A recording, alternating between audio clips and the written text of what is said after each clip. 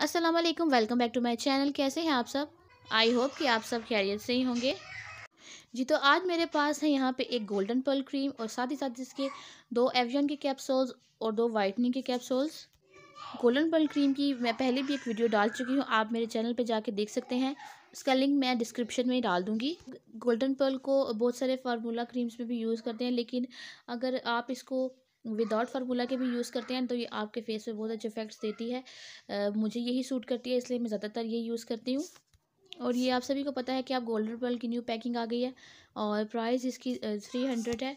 अच्छा जी करना आप लोगों ने ये है कि सिंपली छोट बाउल ले लेना है। आपने उसमें सारी क्रीम अच्छी तरीके से निकाल लेनी है और इसको निकाल लेने के बाद हम इसमें ऐड करेंगे एवियन के कैप्सूल्स और वाइटनिंग के कैप्सूल जैसा कि आप सभी को पता है कि ये जो वाइटनिंग के, कैप्सूल्स हैं एवियन के कैप्सूल्स हैं वो लोग अपने फेस पे वाइटनिंग के लिए यूज़ करते हैं और ये बड़े इफ़ेक्टिव होते हैं और इनका कोई साइड इफ़ेक्ट भी नहीं होता।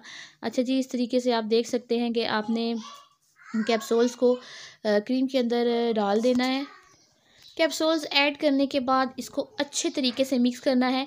तीन से चार मिनट आप इसको अच्छे तरीके से इसकी मिक्सिंग करें और जब इसकी मिक्सिंग अच्छे तरीके से हो जाए तो आप लोगों ने करना ये है कि आपने इस क्रीम को उसी दिन यूज़ नहीं करना। जब भी हम कोई फार्मूला क्रीम बनाते हैं, उसमें कैप्सूल्स ऐड करते हैं तो उस क्रीम को उसी दिन यूज़ नहीं करते। हमेशा एक दिन बाद यूज़ करते हैं, ताकि हमें उसके बेहतर रिजल्ट्स मिले। कैप्सूल्स या जो भी हम इसमें क्रीम ऐड कर रहे हैं, वो अच्छे तरीके से उसमें एब्जॉर्ब हो जाए, उसमें मिक्स हो जाए।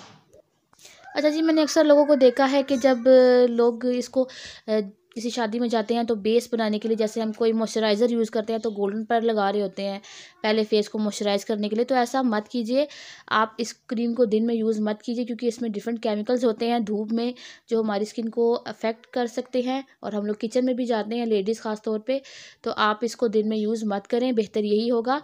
ये मॉइस्चराइज़र नहीं है, ये एक नाइट क्रीम है। अगर आप इसको नाइट में यूज़ करेंगे तो आपको इसको बेहतर रिजल्ट्स मिलेंगे। अच्छा जी, इसी के साथ मैं आप वीडियो को एंड करती हूँ। मिलेंगे नेक्स्ट वीडियो में। चैनल को सब्सक्राइब कर दीजिएगा वीडियो को लाइक कर दीजिएगा। तब तक के लिए अल्लाह हाफिज़।